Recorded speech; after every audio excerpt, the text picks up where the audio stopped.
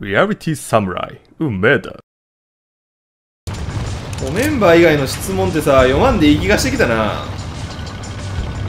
もうアホな質問じゃなくてさメンバー以外の質問全部禁止にしようかな。質問のレベルやばいよな。導入しようかな。メンバーにもやばいのいるって。変えてみるか試しに。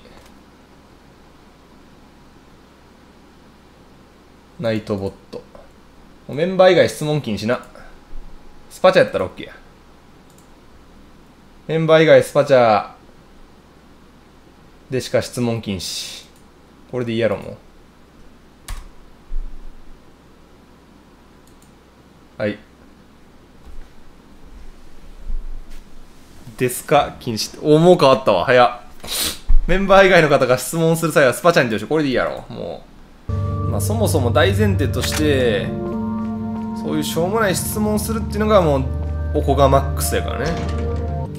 皆さん聞こんなんですね。知らずにアホな質問してごめんなさいって知ってるか知ってないかとかどうでもいいんですよ。まずそんな質問を配信者にすること自体頭おかしいってことを自覚した方がいいですよ。うん。相当レベル低いしこの配信には見合ってないし。そこじゃないよね。知ってるか知らないかとかそこがあのー関係ないから一切。メンバー以外迫害されててバカが多すぎやもんだったもんま。あうん。まず490円も払えん時点でやばいと思うしそのくせに平気でこんなバカみたいな質問できる環境がおかしいと思うねん僕、うん、YouTube やからしゃあないんやけどな。だから僕は自分でスクリーニングしていく。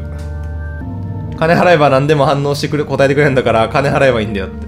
払えるわけないやん。梅田さんはダイイングライト2はやらないんですか？やりません。見たけどなんか面白そうじゃなかったわ。全然流行ってないしな。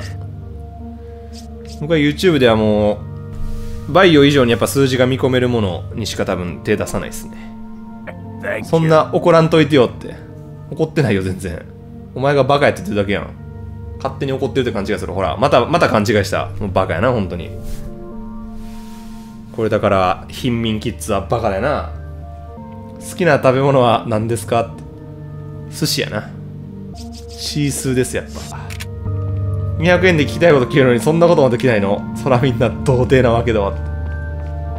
金払えばパンツの柄も答えてくれるで。何でも答えてるよ。ラリオやろ完全に。高菜さんお帰りメンバーです。ナイスメンバー。ありがとうございます250円も払えんやつがいるってまそんなオラオラ。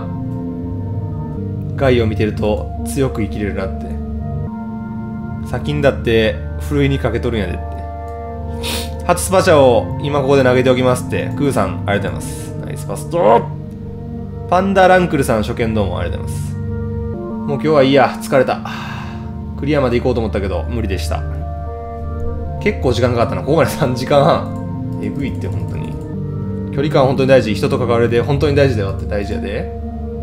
僕の方が YouTube では異質なんだろうけどそうやって異質やと思うで。うん。僕はあえて異質なことしてるからその普通が嫌いな人が集まってきてうまく成り立ってるんですよ。花々さんお久しぶりどうも。初めて来たけど切り抜きでよく見る外役キッズ見れて気持ちいいって。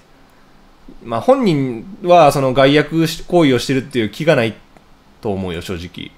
ただまあそれが逆に厄介だったりもするっていうのが面白いところやね、うん、僕にとっては両方ハムシなんですけど